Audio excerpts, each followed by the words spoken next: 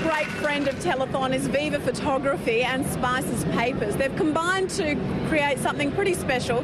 Vic Natoli from Viva, welcome. Thank you very much. Welcome, Andrea. Thank you. And Graham Cole from Spicers. Hello, Andrea. How are you? Very well. Now, Vic, tell me about this fantastic project. Well, we um, this year we've uh, put together another book, uh, the Telethon uh, photographic album, the 2009 version. We've had uh, so many participants and so many people that have absolutely loved the project. We've had So uh, people can get their a photo done of their children, a beautiful studio shot of their children, and it goes into this commemorative book. Absolutely. That was the concept of photographing the children of Western Australia, uh, people that are associated with Telethon or people that have just had children that have benefited in some way or, or like what, what, what we do. And uh, for their donation, they get their, their photo in the book and they get a commemorative issue for them to keep.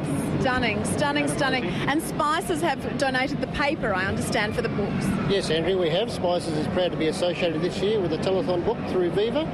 And uh, we'd also like to uh, say that uh, Lamb Print was uh, instrumental in putting the whole book together through the printing. And uh, Super Sheen, who put the fantastic laminated cover on.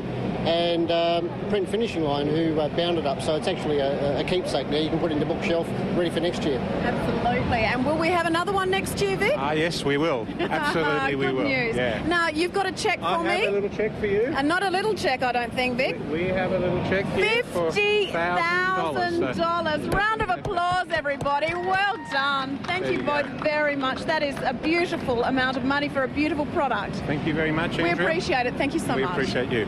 Bye.